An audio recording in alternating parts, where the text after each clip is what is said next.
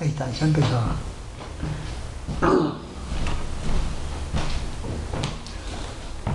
Bueno, hoy fíjate cómo, cómo va. Fíjate cómo va. Está muy cerca la cara. ¿Se ve bien? Bueno. Bueno, hoy vamos a dar el tema principal técnico, que es los cuatro pasos. Los cuatro pasos es un- una ordenación de los momentos, las etapas o los pasos que hay que tener en toda ayuda en situaciones de crisis.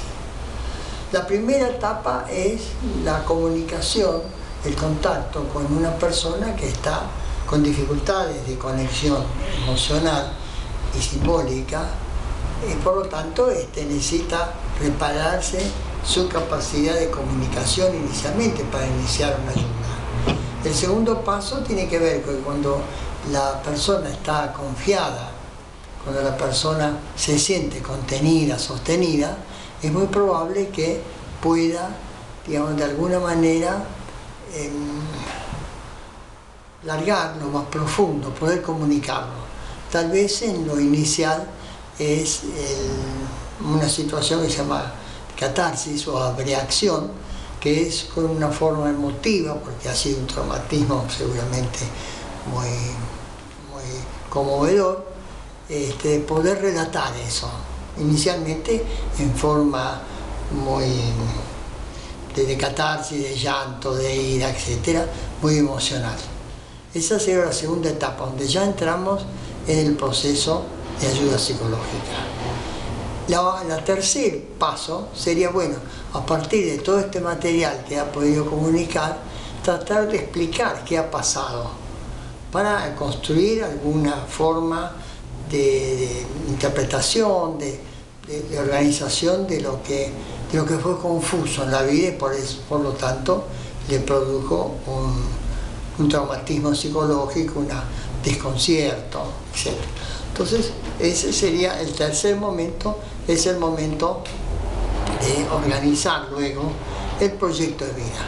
Es decir, estaba paralizado, comienza a generarse un proyecto con- seguramente con vínculos, los anteriores o nuevos, y puede volver a tener la sensación de que resuelve el gran problema de la vida es con alguien y a dónde, ¿no?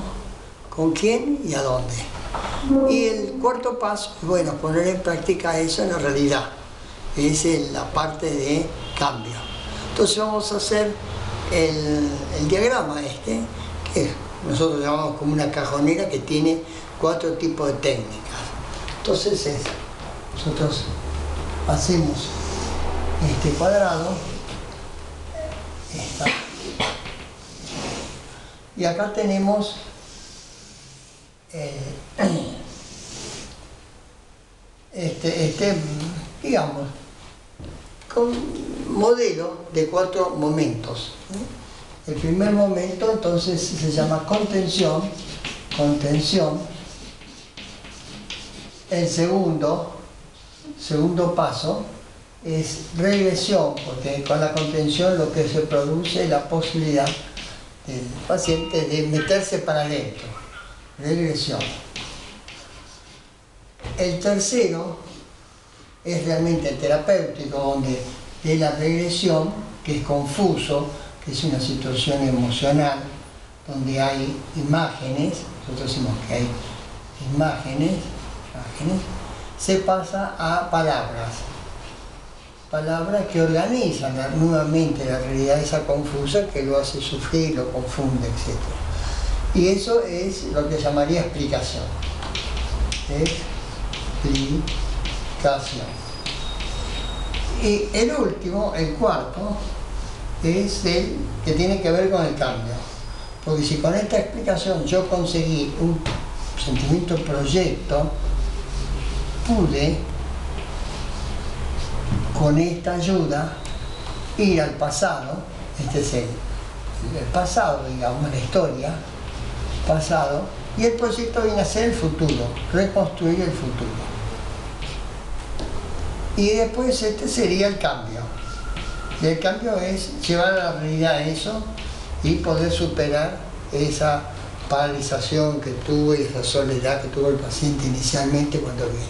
Entonces, la terapia en realidad se produce en este, en estos dos.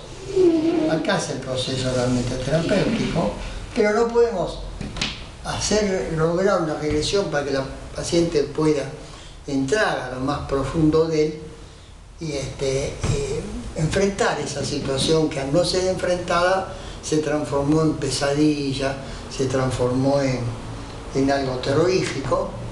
Entonces, con la ayuda nuestra de la contención, en donde hay un primer momento que se llama identificación, identificación, y un segundo momento opuesto, que es la, el de disociación. Disociación. Que esta habilidad tiene que estar a cargo del terapeuta de crisis. La identificación es poder resonar con el paciente, tratar de que él perciba que nosotros lo entendemos, que nos conmovemos, que lo comprendemos, que digamos, hemos entendido en lo más profundo que le pasa, lo, que está por debajo, que lo hace sufrir, por debajo de lo, de lo consciente. Entonces, la identificación tampoco puede ser muy grande porque si no quedó pegado al paciente. Y la idea es justamente poder en un momento comprenderlo, es decir, que él perciba que nosotros lo sostenemos, lo contenemos, lo bancamos. Y entonces hay un momento de decir, después otro momento que nos retiramos y pensamos qué vamos a hacer. Tato Pavlovsky, un amigo, decía, yo te comprendo desde mi desesperación y te curo desde mi esperanza. Entonces hay que tener los dos momentos. Un momento primero en que yo me acerco, me, identifico, él se siente contenido, y otro momento en que, digamos, este, puede él largar de toda esa angustia que tiene. Así que eso sería el primer aproximación a este modelo de trabajo. Entonces, eh, comenzaríamos ahora, en un segundo momento, a empezar a detallar estos cuatro pasos. ¿eh? Acá, lo último, nos lleva a la realidad. Y la realidad es la reparación de fundamentalmente familia, familia y trabajo, que es lo que produce la, identidad de la persona. ¿eh? Identidad es una relación con, con algo íntimo y una relación con el grupo mayor. ¿Se terminó? ¿Eh? Ahí está, 7 segundos. 5, 4. Acá están los segundos. No, pero faltaba todavía, Michi. Ah, pero está mal, Michi, si no, arriba está cortado. Mira, creo que hay que hacerlo al revés.